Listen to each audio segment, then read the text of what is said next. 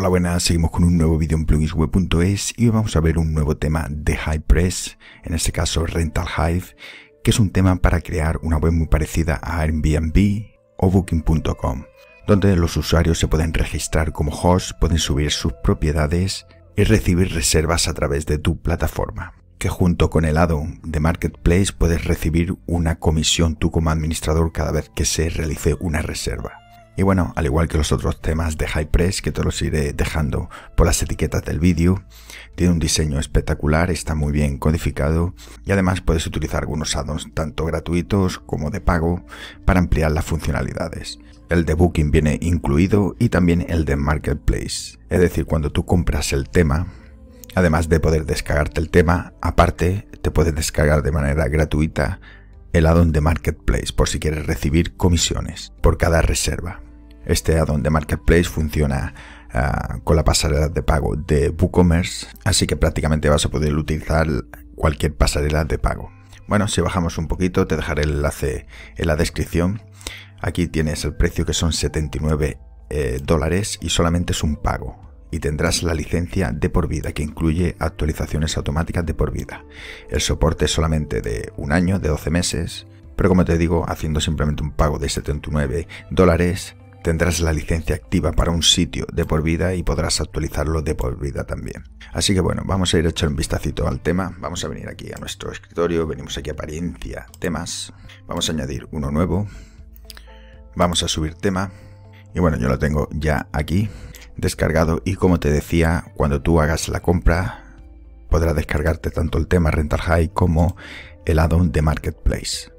El add-on de Marketplace no lo vamos a ver en este vídeo porque ya le hicimos un review en el vídeo de Task Hive, que te lo dejaré en las etiquetas, por si quieres echarle un vistazo a este add-on. Bueno, simplemente vamos a arrastrar el tema y lo vamos a instalar. Muy bien, ya se ha instalado, lo vamos a activar. Bueno, nos dice que necesitamos estos plugins de aquí, simplemente los vamos a empezar a instalar. Los instalamos todos, aplicamos. Muy bien, vamos a volver para activarlos los seleccionamos todos y los activamos, aplicamos y listo. Estupendo, ahora lo que vamos a hacer es instalar el contenido de prueba, ¿vale? Porque si venimos aquí a visitar el sitio, tenemos el tema instalado, pero no tenemos nada de contenido. Así que venimos aquí a plugins, vamos a añadir uno nuevo, que se llama One Click Demo Import.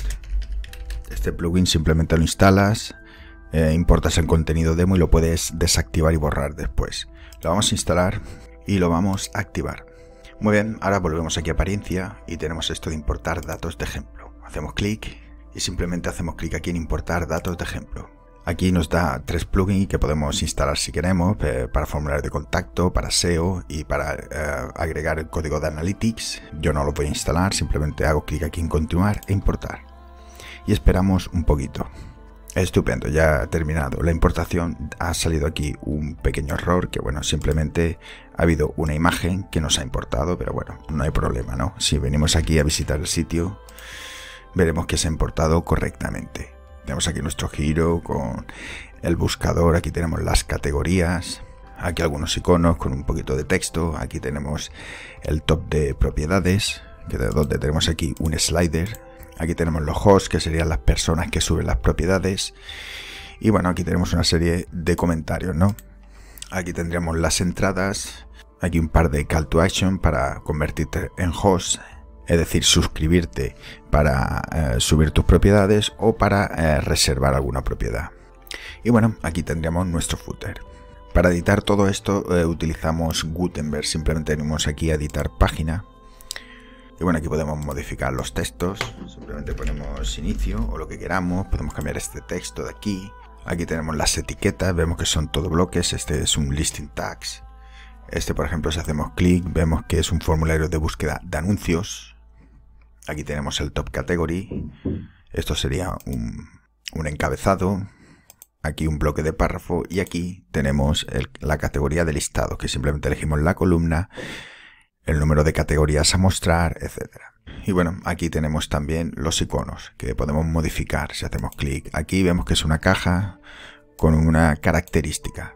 Podemos elegir aquí el icono entre todos los que hay. Lo podemos cambiar. Por ejemplo, si yo cojo este de aquí Vemos que se modifica y se cambia el icono. Los textos, bueno, simplemente haces clic y cambia los textos, simplemente es un bloque de encabezado.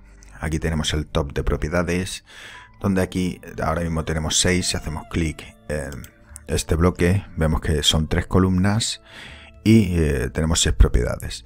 A destacar esta opción de aquí de Display in Slider, que es como hemos visto antes, ¿no? que se muestra en un slider. Aunque aquí se muestre en columnas, como tenemos marcado esta opción, aquí lo vemos como hemos visto antes en un slider. ¿Vale?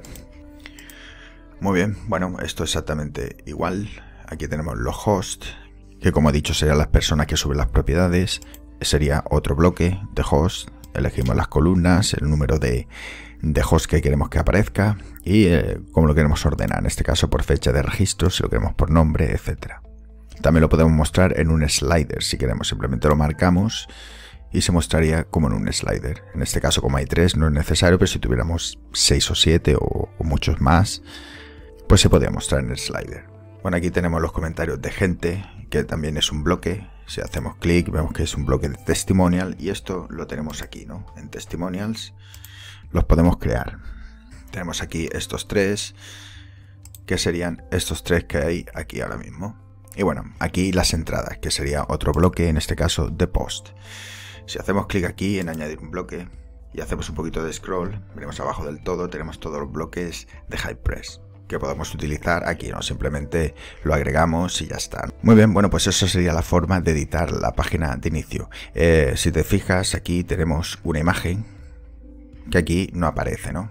Eso se puede editar desde el personalizador. Vamos a cerrar aquí y si venimos aquí y hacemos clic aquí en personalizar, tenemos aquí la imagen de la cabecera que podemos modificar ¿no? y poner la imagen que nosotros queramos.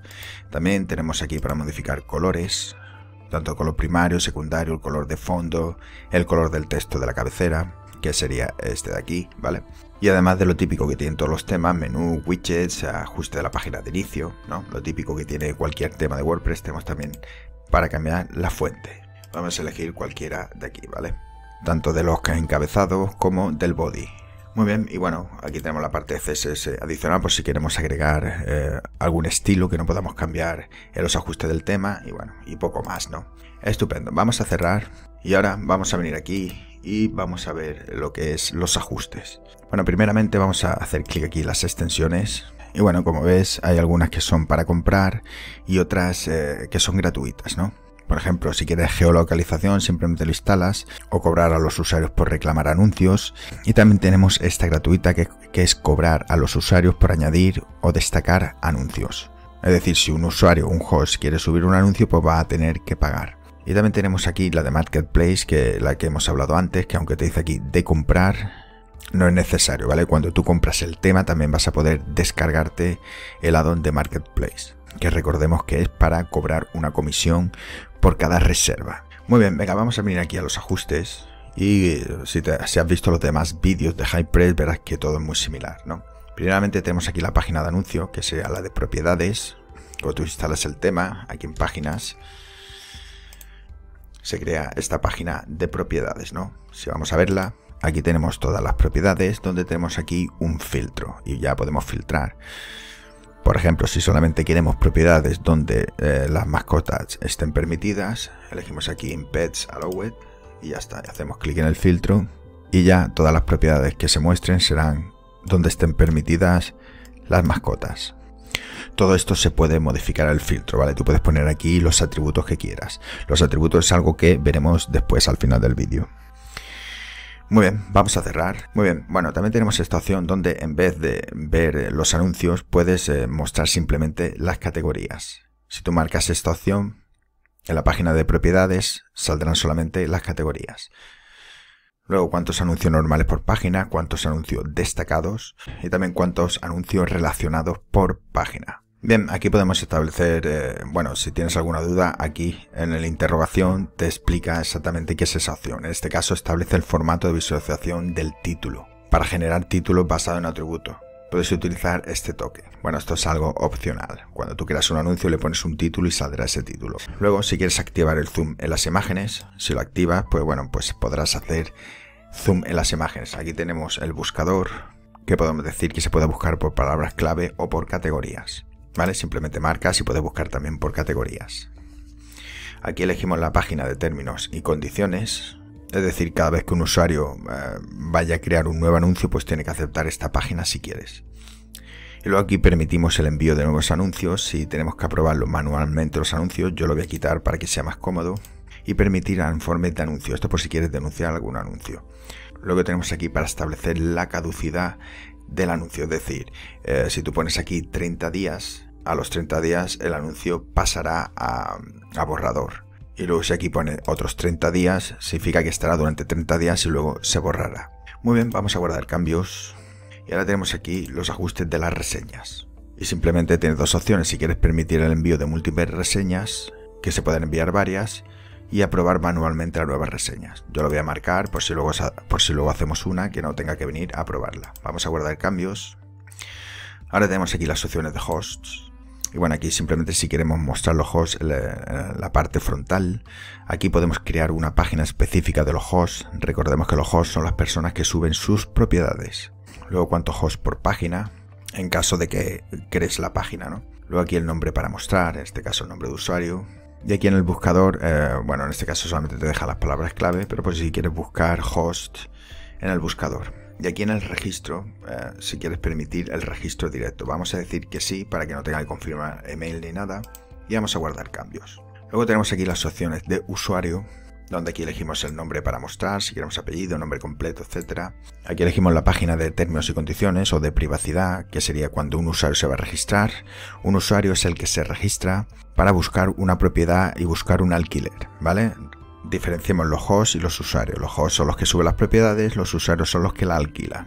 Así que bueno, aquí tenemos las opciones para permitir el registro de usuarios. Si quieres generar el nombre de usuario a partir de la dirección de correo electrónico, si lo desmarcas, el usuario tendrá que escribir su nombre de usuario y no se generará automáticamente. Y luego estaciones por si quieres exigir la verificación de dirección de correo electrónico. Es decir, cuando un usuario se registra con su email, va a tener que ir a su gestor de mail y confirmar esa dirección. En este caso lo vamos a dejar desmarcada para hacer las pruebas. Vamos a guardar cambios. Estupendo. Seguimos con las opciones de mensajes, donde bueno, podemos permitir que se puedan subir archivos, es decir, imágenes, PDF, etcétera. Si quieres, podemos bloquear palabras malsonantes, etcétera. Y luego tenemos esta opción para almacenar los mensajes en la base de datos. Es decir, si tu estación la desmarcas, los mensajes serán a través del gestor de correo. En cambio, si la dejan marcada, eh, tanto el usuario como el host podrán visualizar los mensajes desde su cuenta aquí en tu web, ¿vale? Aquí podemos decir el número de días cuando se borrarán los mensajes. Si pones aquí 30 días, al mes se borrarán los mensajes que tengas almacenado. Muy bien, vamos a guardar cambios. Bien, ahora venimos aquí a Bookings. Muy bien, aquí podemos marcar que la disponibilidad sea ah, por vendedor, digamos por host, en vez de por listing, por anuncio. ¿Vale? Por lo general la disponibilidad va a ser por, por anuncio, es decir, una, tú subes una propiedad y tiene una disponibilidad. ¿no? Luego estaciones por si quieres que se puedan reservar varias propiedades en una misma reserva. Y luego tienes esta opción también muy interesante, que por si quieres establecer rangos de tiempo, es decir, además de un día, también elegir un rango de tiempo. En este caso, como son propiedades, eh, tú no alquilas una propiedad por horas, ¿no? La alquilas por días. Así que no es necesario, pero tienes la opción aquí. Luego tenemos aquí para crear una página de términos y condiciones cada vez que se haga una reserva. Y aquí el número de días eh, donde una reserva que esté en pendiente o no se haya pagado, pues directamente se cancela. En este caso, pues dos días, pero tú puedes modificar aquí los días que quieras. Y aquí exactamente igual, cuánto tiempo quieres que se almacene esto en la base de datos. Muy bien, vamos a guardar cambios.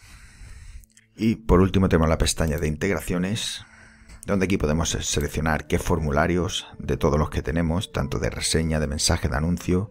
Vamos a agregar la recaptcha, que es para evitar el spam. Y luego por último, aquí vamos a poner eh, las licencias de, tanto del tema como de los addons premium que compremos ponemos una por línea. Y ya está, y ya eso sería, digamos, los ajustes del tema. Luego tenemos la pestaña de correos electrónicos. Vamos a hacer clic aquí. Y bueno, tú puedes crear aquí los correos electrónicos que quieras según las acciones. Si añadimos uno nuevo, aquí en evento podemos elegir eh, enviar un correo electrónico cuando un anuncio se ha aprobado, cuando uno ha caducado. Aquí, por ejemplo, cuando una reserva ha sido cancelada, este sería para el host y cuando una reserva ha sido cancelada para el usuario, ¿vale? Cuando ha sido confirmada, cuando ha sido declinada, cuando se hace una petición, un mensaje recibido, etc. Simplemente, por ejemplo, si elegimos esta de aquí, ponemos aquí reserva confirmada.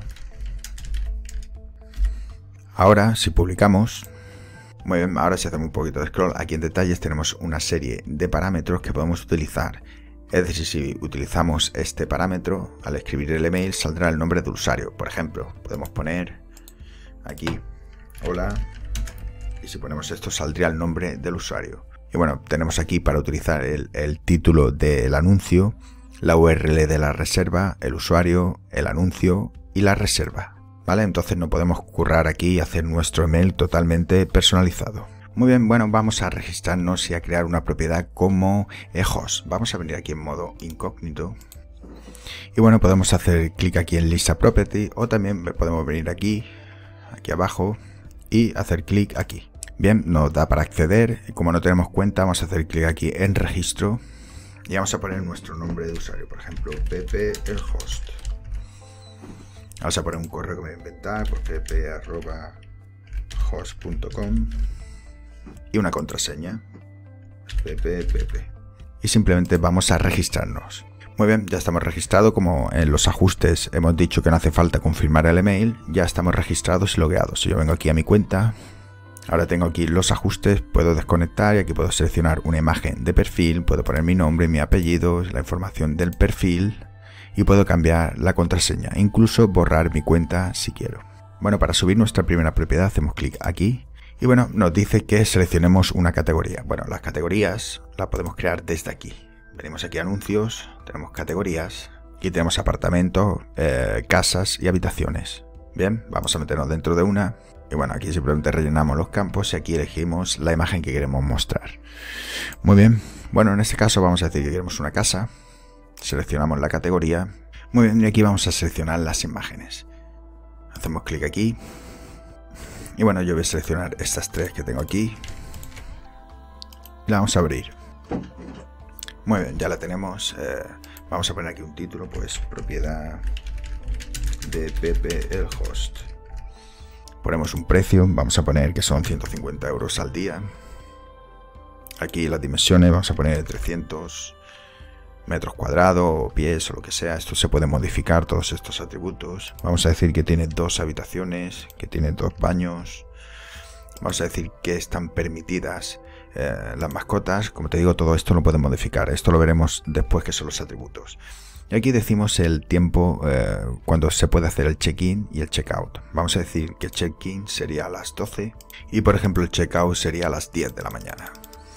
Muy bien, luego aquí podemos elegir algunas etiquetas, pues tenemos aquí algunas ya predeterminadas que podemos utilizar, que como te digo también esto lo puedes editar desde las etiquetas de anuncios. Y aquí ponemos una descripción. Yo simplemente voy a pegar aquí un poquito de Loren Ipsum y listo. Luego tenemos aquí varias opciones que sería el Booking Offset. Aquí, por ejemplo, te dice cuántos días eh, son requeridos anterior a la, reserva. Es decir, si tú pones aquí dos, significa que tú no vas a poder reservar hasta pasado mañana. Es decir, no vas a poder hacer una reserva mañana, sino que tienen que pasar dos días. Si pones 10 días, pues hasta dentro de 10 días no podrás reservar. Aquí exactamente igual, pero en el futuro. Es decir, si tú pones aquí 60, significa que tú vas a poder hacer una reserva hasta un máximo de 60 días.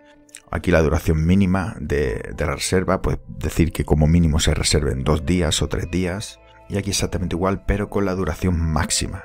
Puede decir que solamente se puede reservar como máximo 10 días. Y por último tenemos la opción para aceptar las nuevas reservas manualmente. Es decir, si tú no marcas esta opción, automáticamente se confirmará esa reserva. Si tú la marcas, se quedará en pendiente hasta que tú, como host, la aceptes. Vamos a marcarla y vamos a enviar el formulario. Muy bien, pues ya tenemos aquí nuestra propiedad. Aquí tenemos las tres imágenes, como hemos subido solamente tres, pues salen así. Si hubiéramos subido más, tendríamos aquí un slider de todas las imágenes. Y ya tenemos aquí toda la información. Tenemos aquí el tamaño, el número de habitaciones, baños, el check-in, el check-out, si se permiten mascotas, aquí tenemos el precio, y bueno, aquí tenemos para hacer la reserva, tenemos para enviar un mensaje, aquí nos dice quién es el que el, el, que, el dueño de este apartamento. nos dice el número de listing que tiene, podemos enviar un mensaje aquí también. Y bueno, aquí tenemos una serie de anuncios relacionados. Bueno, vamos a venir aquí y vamos a hacer una reserva, a ver cómo funciona, ¿no? Vamos a venir ahora yo como administrador, vamos a visitar el sitio. Bien, y bueno, si hago un poquito de scroll, ahora veremos que tenemos una nueva propiedad en el top property, que sería la propiedad de Pepe el host, y también tenemos aquí un nuevo host. Bueno, si te das cuenta aquí tenemos esto de language, de idiomas y servicios. Esto ahora, si yo vengo aquí a mi cuenta y venimos aquí ajustes, antes no lo teníamos, teníamos nombre y apellido, pero ahora tenemos eh, también lo de idiomas y servicios que podemos rellenar en nuestro perfil. Estas dos opciones son atributos, que luego lo veremos, como crear atributos. Muy bien, bueno, venimos ahora, si queremos reservar a esta propiedad aquí, simplemente vamos a meternos dentro. Y bueno, si yo no estoy seguro, podría enviarle un mensaje a Pepe, ¿no? Si yo hago clic aquí, puedo poner, hola Pepe, y ya le pongo aquí un Lorenzo. Vamos a enviar el mensaje. Ya dice que tu mensaje ha sido enviado. Si yo ahora vuelvo aquí como Pepe y recargo, vemos ahora que aparte de aquí salir la notificación, tenemos aquí mensajes, un nuevo mensaje de Fran Salas y nos dice en qué propiedad ha hecho el comentario, ¿no? Vamos a meternos dentro de aquí y ya podemos contestarle, ¿no? Vale, vamos a poner OK, enviamos el mensaje. Ya dice que se ha enviado el mensaje. Si ahora vuelvo aquí y recargo, vamos a recargar. Bien, ya vemos que tenemos aquí una notificación, venimos aquí a mi cuenta y aquí en mensaje tenemos el nuevo de Pepe, el host. Si nos metemos dentro, ya tenemos aquí la contestación. Bien, vamos a volver aquí a la página de inicio y vamos a volver a la propiedad. Venimos aquí a la propiedad de Pepe y vamos a hacer una reserva. Hacemos clic aquí y ya nos salen los días. Por ejemplo, vamos a reservar del día 19 al día 21 como Pepe al hacer el anuncio ha marcado que eh, hay que aprobar la reserva manualmente, aquí dice Request to Book. Si hubiéramos puesto que se reserva automáticamente, aquí pondría simplemente Booking. Vamos a hacer clic aquí. Y bueno, ya nos dice aquí que la fecha sería el 19 de noviembre hasta el 21. Aquí podemos poner unas notas, vamos a poner un poquito de Loren Ipsum y vamos a enviar la request. Muy bien, ahora si hacemos clic aquí en ver Booking, ya nos dice que tenemos aquí una reserva que está pendiente, podemos enviar otro mensaje o incluso podemos cancelarla si queremos. Si ahora volvemos aquí como Pepe y recargamos, vemos que tenemos aquí en Booking una nueva notificación donde si nos metemos dentro, aquí veríamos toda la reserva ¿no? que vayamos teniendo. Si hago clic aquí en el Booking, ya directamente podría enviar un mensaje o aceptarla o declinarla. En este caso la vamos a aceptar Decimos que sí, la aceptamos. Y bueno, ya nos dice aquí que la reserva ha sido confirmada. Bueno, aparte de, aquí también se enviarán los emails que nosotros creamos en el apartado email que hemos visto antes. Bien, ahora si volvemos aquí otra vez a mi cuenta como Fran Salas, ahora ya podemos ver que nuestra reserva está confirmada aquí también. Muy bien, además eh, vamos a volver aquí otra vez como Pepe.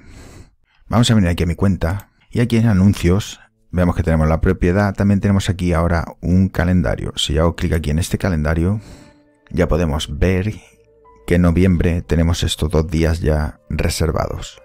Si hago clic aquí, me lleva directamente otra vez al booking, donde ya podemos obtener información. Y además, si volvemos ahora aquí otra vez a la propiedad de Pepe, vamos a recargar e intentamos hacer una nueva reserva, ya vemos que los días 19 y 20 no se puede reservar. Así que como ves es un proceso muy intuitivo y muy sencillo. Bueno, vamos a hablar de los atributos. Bueno, si venimos aquí ahora, aquí a nuestra parte de administración, tanto en anuncios como host o bookings, tenemos esto de atributos y todo funcionan igual, ¿vale? Simplemente es crear un nuevo atributo, un nuevo campo personalizado que se muestre, pues eso, cuando vais a hacer una reserva, cuando se registre un host o cuando se cree un nuevo anuncio. Por ejemplo, vamos a ver el de anuncios. Si venimos aquí a atributos, bueno, vemos que tenemos los campos de checkout, check-in, bathroom, bedrooms, eh, esto, el tamaño de lo que es el apartamento, lo de las mascotas y el precio. Imaginémonos que queremos agregar un atributo, por ejemplo, de si tiene piscina, ¿no? Vamos a añadir uno nuevo y vamos a poner aquí, pues, piscina. Bien, esta acción es simplemente si se puede editar este campo desde la parte frontal. Es decir, si quieres que se pueda editar, pues marcas que sí y listo. Y luego aquí, si cada vez que lo editen se tiene que aprobar ese campo manualmente. Es decir, tú como administrador lo tienes que aprobar. Bien, bueno, aquí elegimos el tipo de campo. En este caso, eh, bueno, tenemos un montón. Tenemos adjunto por si queremos agregar un PDF que se pueda descargar el usuario. Botones de radio, casillas de verificación, el correo electrónico, fecha, hora, un incrustado, un número, un, selector. En este caso vamos a elegir un selector. Muy bien, y vamos a publicar. Muy bien, una vez publicado, ahora tenemos esta opción de opciones. Simplemente vamos a elegir dos opciones. Por ejemplo, sí. Bien, añadimos la opción. Vamos a poner no. Y podéis agregar las opciones que quieras, por ejemplo, piscina comunitaria o piscina privada, etc. Estupendo. Vamos a volver otra vez aquí a atributos. Vamos a meternos dentro de piscina y aquí tenemos ahora las opciones de buscar, es decir, si quieres mostrar este campo en el buscador, marcamos esta casilla para que se incluya la búsqueda de palabras clave o si queremos incluirlo en el filtro. Vamos a incluirlo en el filtro simplemente y vamos a decir que la salida sea igual, ¿no? Un selector. Vamos a poner también un selector. Esto que lo que hace, que si yo ahora actualizo y ahora venimos aquí a las páginas de propiedades, vamos a venir a esta página de aquí, eh, la de property, vamos a ir a verla Bien, ahora tenemos este nuevo campo para filtrar. Es decir, ahora podemos decir que si lo queremos con piscina o no, sí o no, ¿vale? Muy bien, y aquí tenemos eh, la visualización donde quieren mostrar este campo. Tenemos varios campos, tenemos el bloque principal, el bloque secundario y página principal y página secundario. El bloque, estos bloques de aquí, sería si tú lo quieres mostrar aquí, ¿no? En estas cajitas de aquí, que salgan aquí abajo. Por ejemplo, vamos a decir que queremos que salga en el bloque eh, principal y también en eh, la página principal. Aquí podríamos elegir un icono. Vamos a poner, por ejemplo, pool. el de swimming pool. Y aquí el formato podemos poner HTML, pero simplemente agregando aquí el icono. Copiamos esto de aquí, el icono, y lo pegamos y lo vamos a pegar aquí para que salga. Lo pegamos y también vamos a poner el label. Lo copiamos el label y lo vamos a poner aquí en medio. Vamos a quitar el punto este y aquí podríamos poner eh, dos puntos, por ejemplo. Y el value sería, el, en este caso, el sí o el no, que sería el resultado. Bueno, si yo esto ahora actualizo y ahora venimos aquí a, a un anuncio, nos metemos dentro de este, por ejemplo, Bien, ahora aquí a la derecha tenemos esto de piscina, vamos a decir que sí y vamos a actualizar. Bien, si ahora vamos a ver la propiedad, bueno, aparece aquí en este, en este widget, pero si lo queremos poner aquí, en esta zona, vamos a decir que eh, en vez de la página principal va a ser la página secundario. Vamos a actualizar. Bien, y ahora aquí si recargo, ya vemos que el apartado piscina aparece aquí. Si venimos aquí a todas las propiedades, vamos a recargar.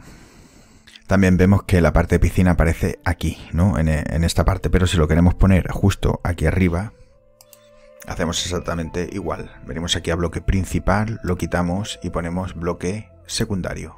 Si ahora actualizo y recargamos aquí, en la página de propiedades, ya vemos que lo de la piscina aparece aquí.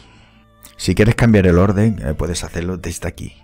Por ejemplo, si quieres que el orden sea el tercero el cuarto que aparezca al final, simplemente aquí pones en orden, vamos a poner 8 o 9 para que aparezca el último y vamos a actualizar.